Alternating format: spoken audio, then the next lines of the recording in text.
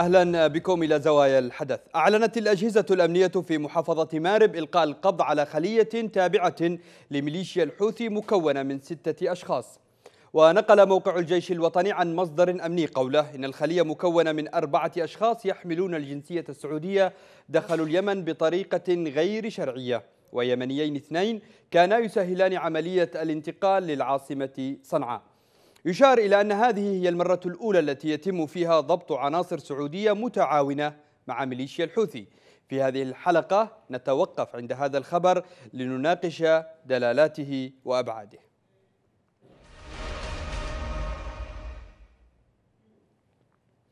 إلقاء القبض على عناصر سعودية في خلية حوثية كانت في طريقها إلى العاصمة صنعاء يفتح باب التساؤلات عن حقيقة ما يحدث وعن استمرار المخطط الحوثي في إيجاد امتداد له على الأراضي السعودية وعلاقته بمشاريع التخريب داخل أراضي المملكة. حتى اللحظة لم يصدر أي موقف عن السلطات السعودية ولكن مراقبين يرون أن هذا يأتي في إطار محاولات ميليشيا الحوثي استقطاب عناصر سعودية لنقل التجربة إلى الداخل السعودي. ودعمها بالتدريب والسلاح وتجهيزها لمرحلة لاحقة يتم الإعداد لها بأياد إيرانية.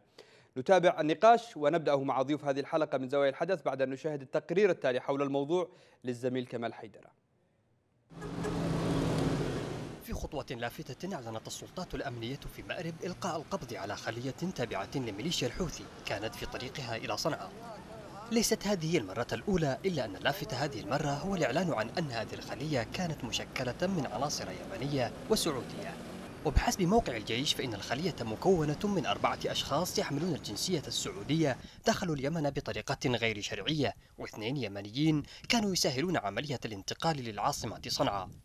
بنظرة سريعة لا شيء يوحي بأن هؤلاء السعوديين جاءوا لافتتاح مشاريع خيرية أو حتى دعم ميليشيا الحوثي في حربه على اليمنيين. وهو ما يبقي على احتمال وحيد لا سوى. قدم هؤلاء السعوديون للحصول على التدريب اللازم لنقل التجربة الحوثية إلى الداخل السعودي. ذلك هو ما يقوله المنطق. بحسب مراقبين فإن هذه الخلية تكشف عن مستور طالما كان يتم الحديث عنه ولكن بشكل محدود. وهو سعي ميليشيا الحوثي لإيجاد امتداد لها داخل الأراضي السعودية خصوصا مع وجود مركز هذه الميليشيا على الحدود الجنوبية للمملكة. والتي تتشابه في كثير من أوجهها الاجتماعية والدينية مع الجانب اليمني. جولات من الحوار والبحث عن تهدئة على الحدود بين الجانبين والكثير من رسائل التطمين التي تبعثها الميليشيا بين حين وآخر إلا أن الهدف الأكبر الذي وجدت من أجله ميليشيا الحوثي ما يزال هو المحرك الذي يجعل من أي تهدئة مجرد توقف لاسترداد الأنفاس. ابحث عن إيران التي لا تهدأ يقول البعض. فاليمن التي سقطت في يد أتباعها قبل ثلاثة أعوام لم تكن سوى بوابة العبور الأكثر قربا من المملكة فيما تبقى الجولة الأخيرة من المواجهة مؤجلة حتى اكتمال ظروفها ويبدو أن العمل ماض في هذا الاتجاه ولم يتوقف. نبدأ النقاش مع ضيفنا من مارب نائب مدير الشرطة العميد عبد السياغي. أهلا بك سيادة العميد. أهلا وسهلا. سيادة العميد في البداية لو تضعنا أمام تفاصيل عملية ضبط الخلية الحوثية والتي كان ضمنها أربعة عناصر سعودية. بسم الله الرحمن الرحيم. في البداية نشكر العاملين في قناة بلقيس على هذا الاهتمام ووضع المستمعين والمشاهدين على الحقيقة على حقيقة ما يجري في الواقع. والحقيقة بفضل الله تعالى ثم بفضل قواتنا الأمنية التي تعمل ليلا ونهارا لتحقيق الأمن والاستقرار تم يوم أمس الموافق 15 7 2017 إلقاء القبض على خلية نائمة كانوا على سيارة سنتافي عليها أربع أشخاص سعوديين وشخصين يمنيين. وتم إيصالهم إلى معسكر التحالف صحن الوطن يوم أمس وتم تسليمهم إلى التحالف العربي. طيب هل كانوا متوجهين إلى مارب أم كانت مارب محطة عبور؟ ما هي هذه التفاصيل؟ لا هم كانوا يعني كان جهتهم من من عمان إلى صنعاء كانوا متجهين إلى صنعاء. كما ذكرت يعني كانوا متجهين من عمان إلى صنعاء لتلقي التدريبات والتعليمات من الحوثيين لكي يكونوا نواة في المستقبل. لعمل تخريبي داخل المملكة. طيب عندما يتم الحديث عن أنهم كانوا في طريقهم إلى صنعاء لتلقي التدريبات للقيام بأعمال تخريبية لاحقة هذا يدل ربما عن أنه هناك تحقيقات أجريت وهذه هل هي نتائج تحقيقات أم هي مجرد تحليلات فقط؟ استجواب تم استجوابهم ما القبض عليهم تم استجوابهم وكانت هذه نتائج الاستجواب ثم تم تسليمهم على عجل للاخوه في الشقة في المملكة العربية السعودية. طيب آه، تسليمهم لمعسكر قوات آه، التحالف هنا تساؤل يبرز أيضا لماذا الأجهزة الأمنية اليمنية لا تقوم بالتحقيقات؟ ما الذي يمنع؟ هل نقص في الإمكانيات أم أنكم بالاستجواب التي قمتم به استوفيتم كل المعلومات التي ترغبون فيها؟ لماذا سلموا للتحالف؟ إحنا تم القينا القبض عليهم وتم استجوابهم وتم أيضا تسليمهم لقوة التحالف لأننا نكمل بعض. ولدينا القدرة والكفاءة الكاملة واجهزتنا الأمنية مستكملة وفيها ضباط التحقيق والاستمرار معهم. ولكن أحببنا أن نشارك إخواننا في التحالف الثقة والمشاركة في التحقيقات. لأننا كل منا يكمل بعض والدم اليمني قد اختلط بالدم السعودي في الجبهات فلا يهمنا أن نبدأ نحن التحقيق أو هم فكلنا يهمنا هذا الأمر طيب أهم النقاط أو المعلومات التي يمكن إطلاع الرأي العام عليها والتي توصلتم إليها أنتم من خلال الاستجواب الذي قمتم به مع الخلية.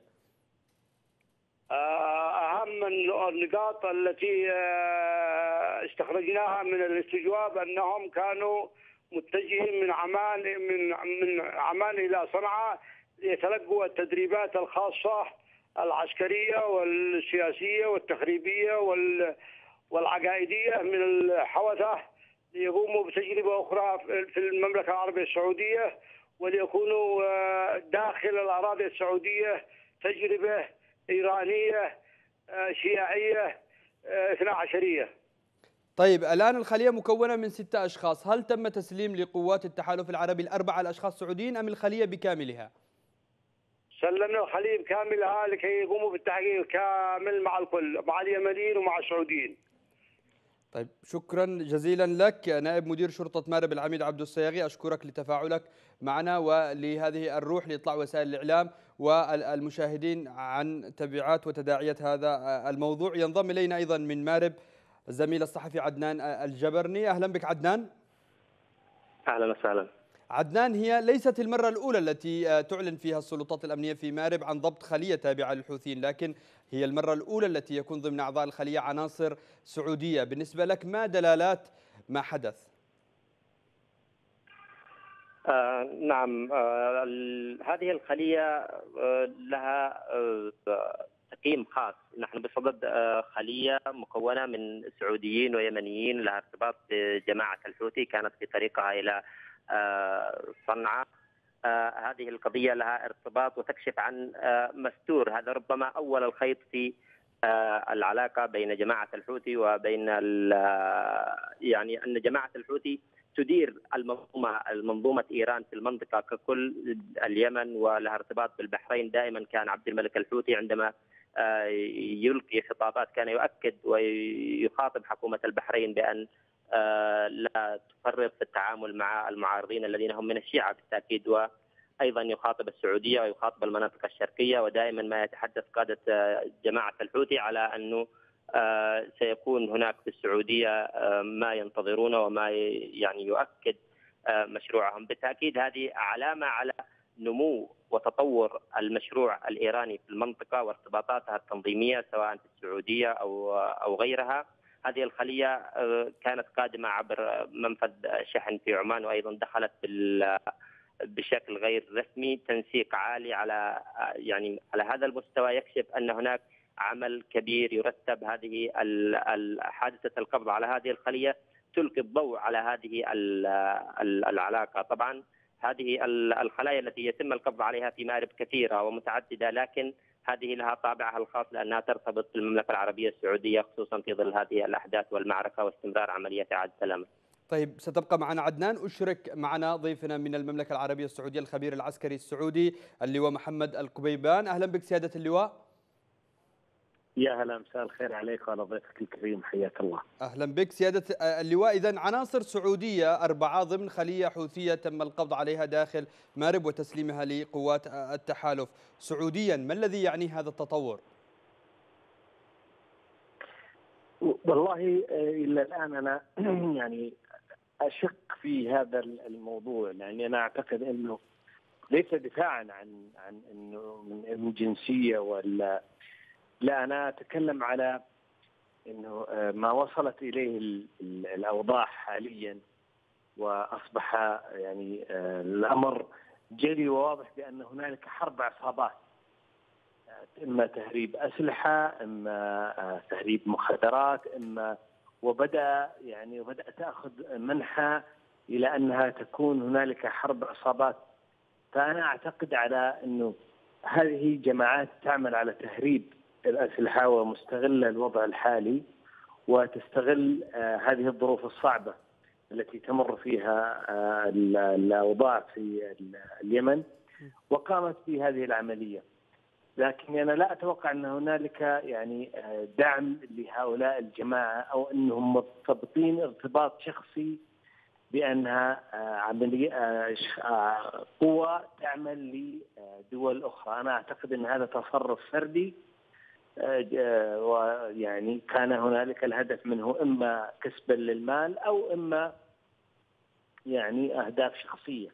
طيب سيادة اللواء لا يجب أن نكون سيادة اللواء هل ما زال هناك حيز لديك للتشكيك في جنسيات من تم إلقاء القبض عليهم مع التصريحات الرسمية للأجهزة الأمنية في محافظة مارب قبل لحظات كان معنا نائب مدير شرطة مارب عبد السياغي وهو تحدث بالتفصيل أنهم أربعة يحملون الجنسية السعودية كانوا في طريقهم إلى صنعاء لتلقي التدريبات تم تسليمهم لمعسكر قوات التحالف في مارب.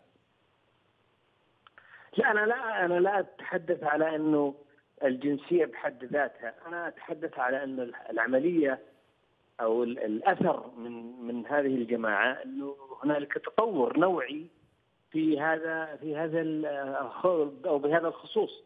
فقط هذا اللي أنا أتحدث عنه ولكن لننتظر أكثر. أنا متأكد بأن هنالك سوف يتم تصريح أو إعلان كذلك من قبل القوات في المملكة سواء قوات سلاح الحدود عبر وزارة الداخلية أو إنه لمتحدث باسم وزارة الدفاع أو من ينوب عنه في هذه اللحظات، فليس عفوا تقدير يعني تقليلا فيما ذكره المتحدث أو ما ذكرته فيما يخص إن هنالك فئة سعودية. ولكن هذا الأمر جديد وهذا يعتبر تطور نوعي خطير في في العملية، أنا أتكلم على نحن من من قبل ذلك نواجه جماعات الانقلابيين ومدعومين بصالح أو ايا كان وكان هنالك الصراع واضح.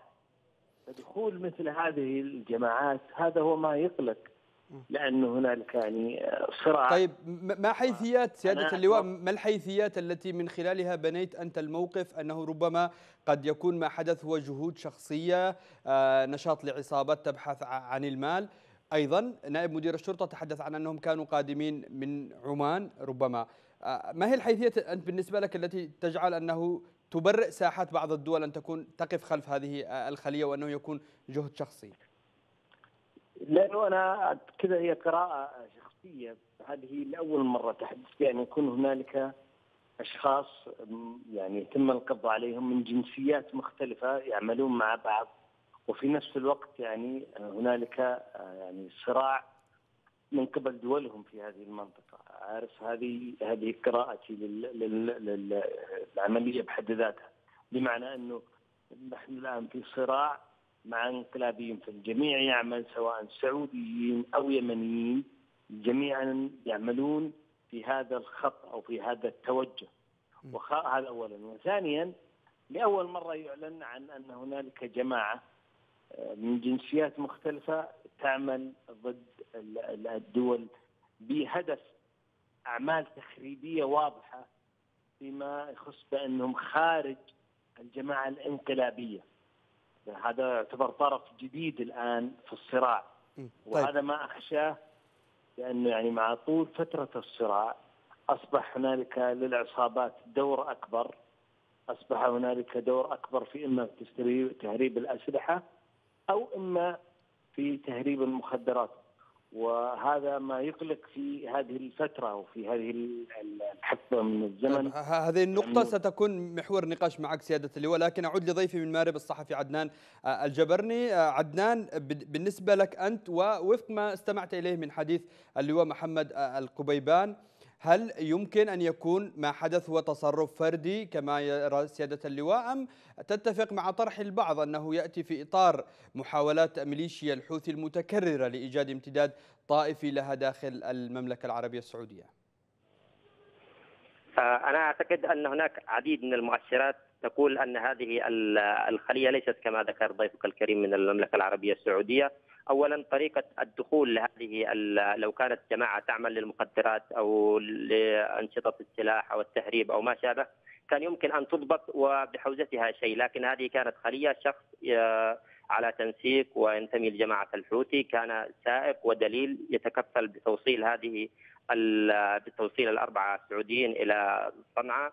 أيضا هناك معلومات رشحت عن المنطقة التي ينحدرون منها في المملكة العربية السعودية وهي آه، منطقة آه، قد آه، تعزز فرضية أن هؤلاء الأربعة جاء قادمين إلى العاصمة صنعاء لغرض التدريب والتأهيل لدى جماعة الحوثي ومن ثم استخدامهم ضد المملكة العربية السعودية ضمن ما تخطط له جماعة الحوثي في الإضرار بالمملكة العربية السعودية على المدى الطويل دائما تقول جماعة الحوثي أن لديها مشروع طويل ومعركة نفس طويل وأن معركتها مع السعودية معلومة ما هي التفاصيل حول المنطقة التي ينحدرون منها؟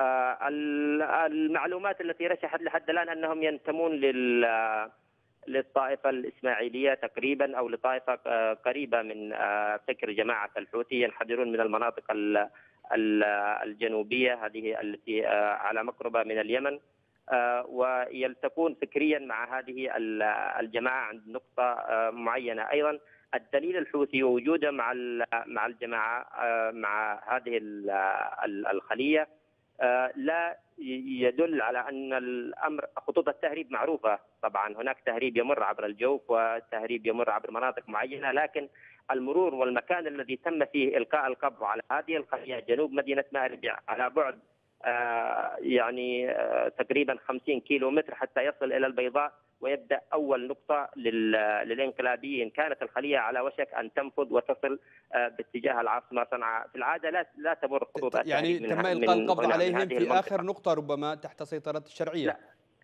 هي ليست آخر نقطة إنما خارج مدينة مأرب باتجاه يعني في بداية خط الخط الذي يتجه إلى بعض مديريات مأرب ثم البيضاء خطوط التهريب في العادة وخاصة على هذا المستوى من خصوصا أن الأشخاص يحملون جنسية غير اليمنية يمر آه، لا يمر من هذه طيب. المنطقة قد يمر في هل ما حدث أنهم كانوا كدا. ربما فيما قبل المراحل الأخيرة أو النقاط الأخيرة من سيطرة الشرعية هل يمكن أن يفتح هذا التساؤل حول إذا ما كانت هناك خلايا سابقة مرت ولم يتم آه، ملاحظتها أو إلقاء القبض عليها مرت مرور الكرام ربما؟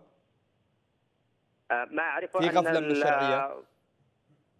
نعم ما أعرف أن القبض على هذه الخلية سبق معلومات استخباراتية آه، وإن كانت عاجلة ليست في المدى الكبير بفارق التوقيت لكن هناك آه، فريق أمني قوي يعمل في مارب وخصوصا في هذا الخط الذي يربط ما بين خط العبر صافر اللي هو قادم من حضرموت ومنفذ الوديعة ومن ثم الصحراء الذي ممكن أن توصل إلى آه، عمان ويربط بالعاصمة صنعاء. هناك آه، نقاط أمنية كثيرة معززة بخبرات وب يعني كفاءات عالية وتم القبض على عديد من الخلايا في هذه المنطقة.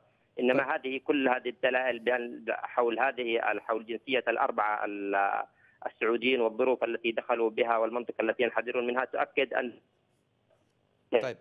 طيب أعود لضيفنا من الرياض اللواء محمد القبيبان سيادة اللواء الآن العناصر هي في لدى معسكر التحالف في مارب.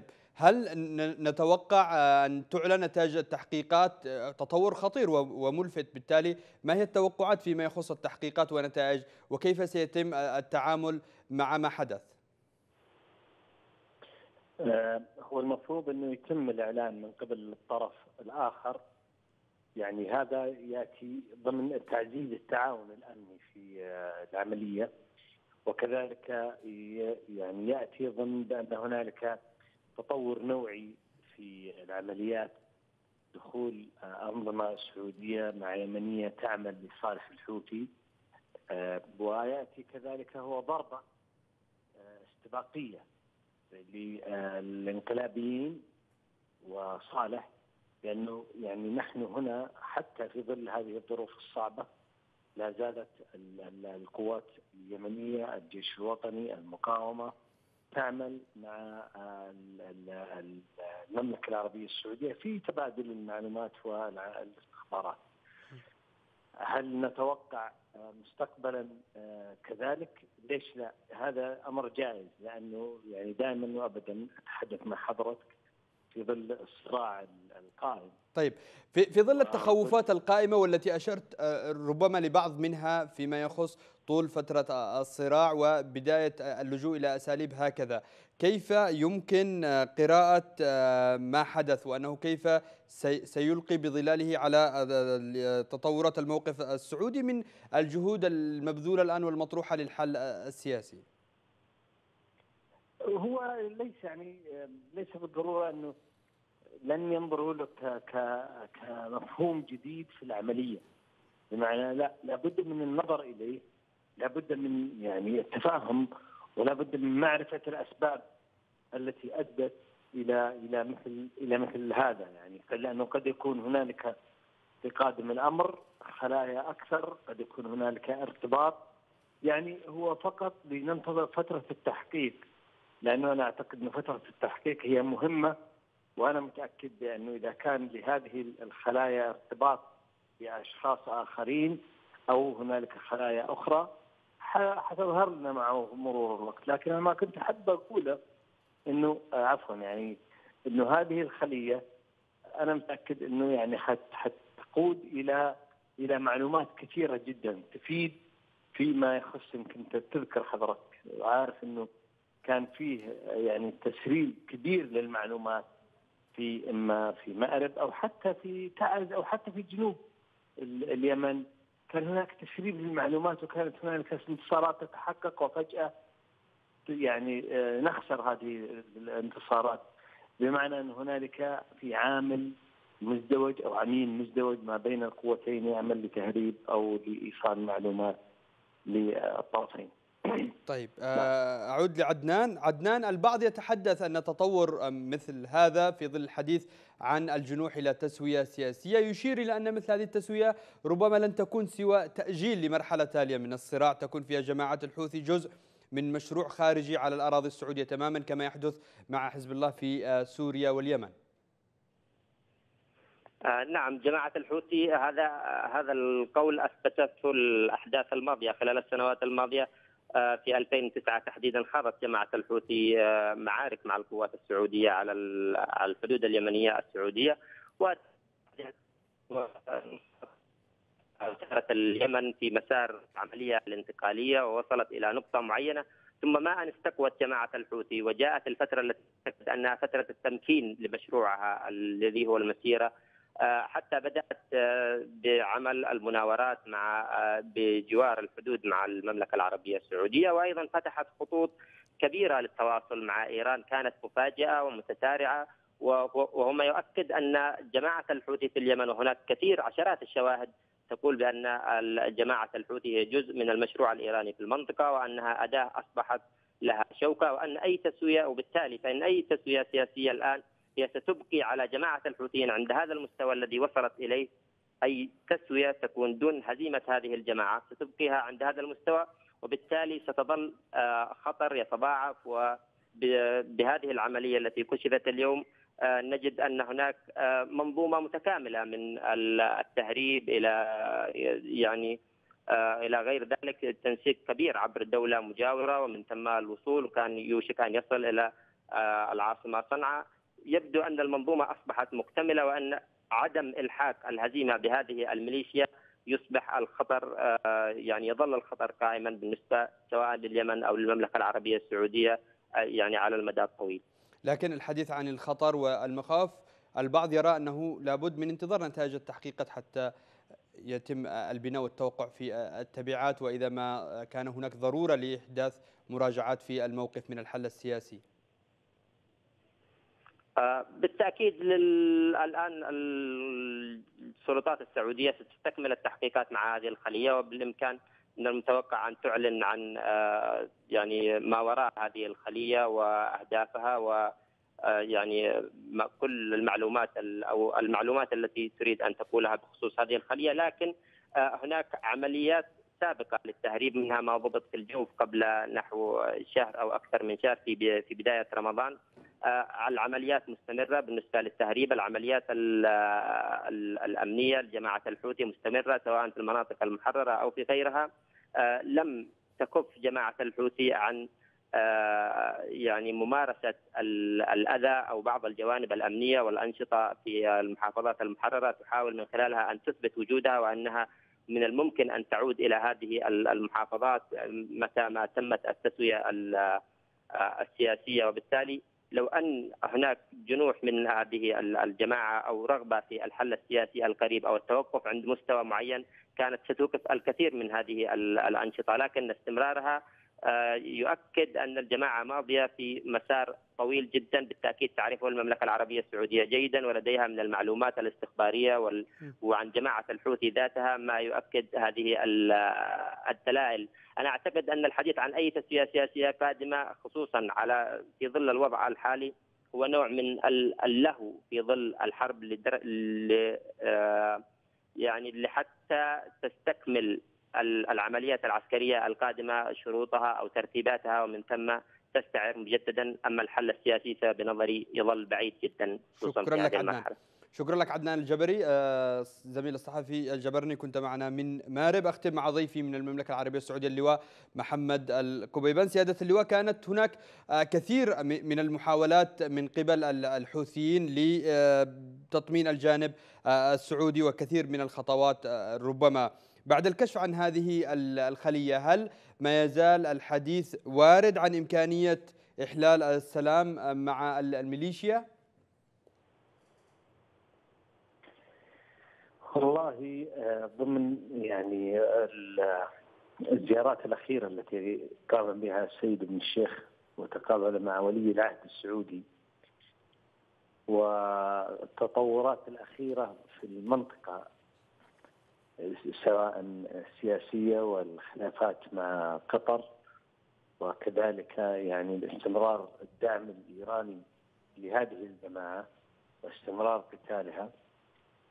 ومرور عامين أنا أشك بأن يكون هنالك آه، تفاهم مع هذه الجماعة.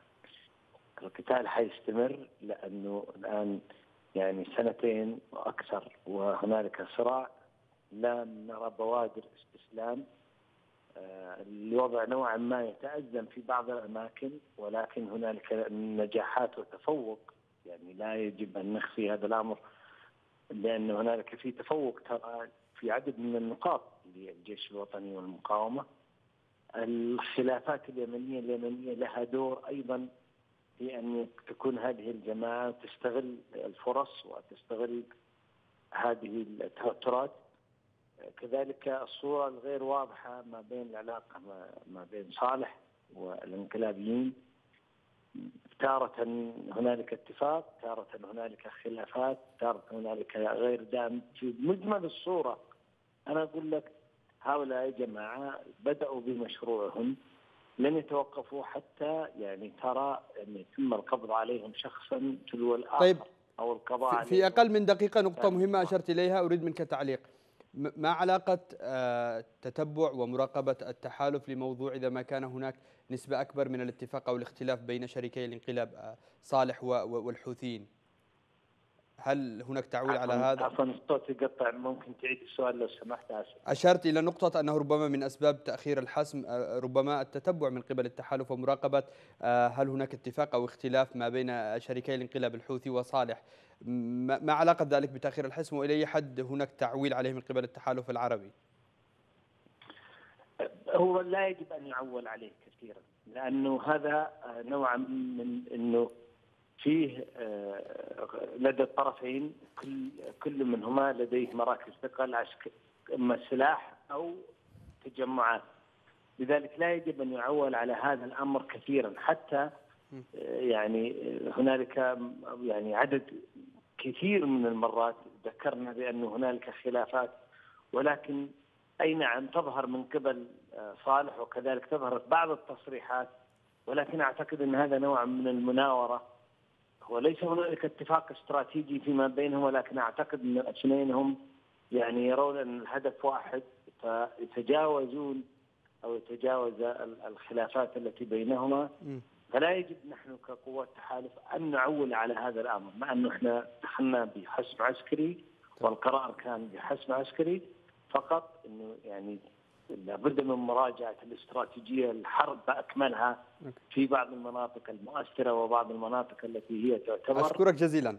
آه، آه، هي هي مفاصل المعركة أو الحرب. شكرا جزيلا لك اللواء محمد القبيبان الخبير العسكري السعودي. كنت معنا من الرياض وأيضا الشكر موصول لضيوفنا في هذه الحلقة من زوايا الحدث. في الختام تحية طاقم البرنامج ومنتج هذه الحلقة الزميل كمال حيدر. كونوا بخير.